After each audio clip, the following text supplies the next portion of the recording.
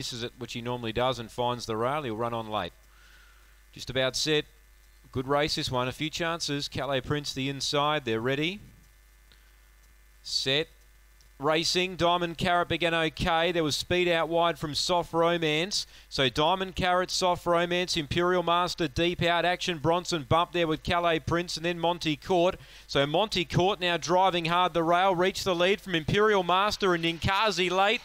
But it's Monty Court from Imperial Master, I think, second. Ninkazi third.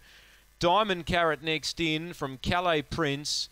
Soft Romance and Action Bronson. Yep, he got, copped a bump early, but he certainly didn't stretch out very well to the winner, Monty Court. Monty Court for Jack Trengove, a drifter in the market, but gets the money.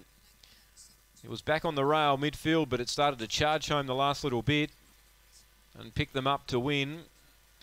So the winner number two over number eight, second Imperial Master. And third goes to number three, Ninkazi. So it's 283 and 6, take note. 283 and 6. 1692 the gallop. Number 2 is the winner. A length and a half the winning margin after race 7.